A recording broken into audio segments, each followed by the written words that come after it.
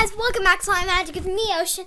Guess what? Today, me and Kaylee are going to be showing you this really weird trick. I learned it. Well, we both did, but let's go in Jake's room to do it because, you know, Hey. Jake doesn't know how to do it though. Do you, Jake? Don't think so. So let's get started. I just taught her. No, I've been knowing. You hold. So, well, show you first.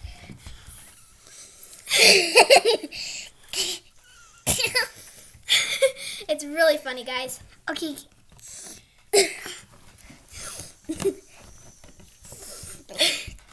Guys.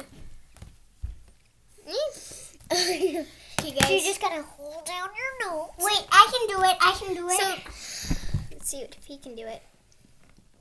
Oh yeah, he can do it. Okay, so this is how you do it. It's actually pretty easy.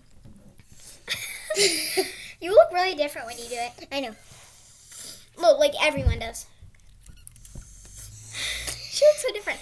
So what you need to do for this, it kind of hurts your eyes a little bit because you're kind of like breathing through your eyes or something. Um, Like it's no one knows there. No one, know, no one knows that kind of science. So.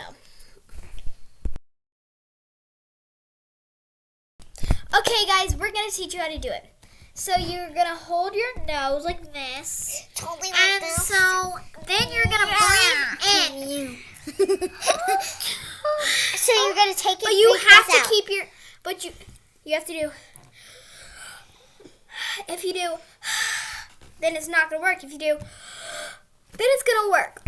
Ready?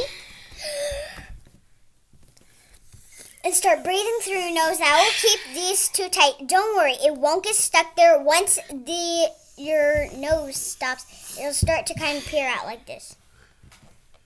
Yeah, it. Don't worry, it does not get stuck ever. Anyway, you can just do this, or just do this, or something like that. So you're gonna hold your nose, and then you're gonna breathe in. So